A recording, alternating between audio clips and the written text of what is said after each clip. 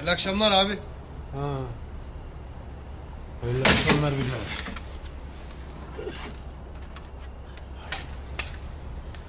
Ayıp oluyor ama. Öyle bir insan mıyım ben? Kırılıyorum bak ha.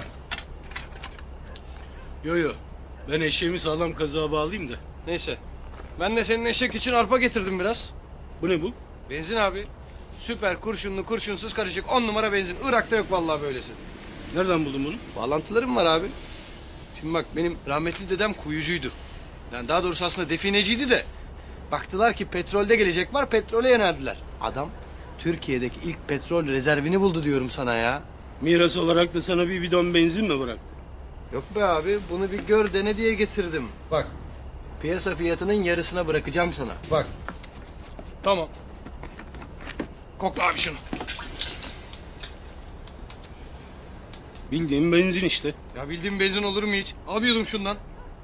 Saçmalama be neyin peşindesin? Abi içsene bir yudum şundan farkı gör. Al. Yürü git lan manyak. Tutturmuş akşam akşam iç iç iç iç. Allah Allah. Bu bidonu doldurmak için kaç litre benzin yuttum ben be? Biz boşuna mı çaldık bu kadar benzini şimdi?